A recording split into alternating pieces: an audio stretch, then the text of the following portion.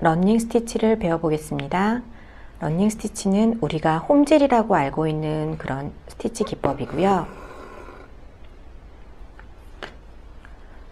바늘을 위에서 한 땀, 아래에서 한 땀, 다시 위에서 한 땀, 아래에서 한 땀, 이렇게 일정한 간격을 주고 땀을 떠주는 스티치 기법을 말합니다.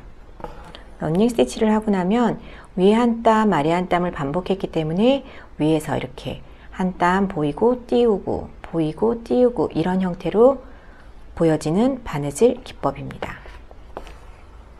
마무리는 실이 아래로 그냥 이렇게 내려가시면 마무리가 됩니다.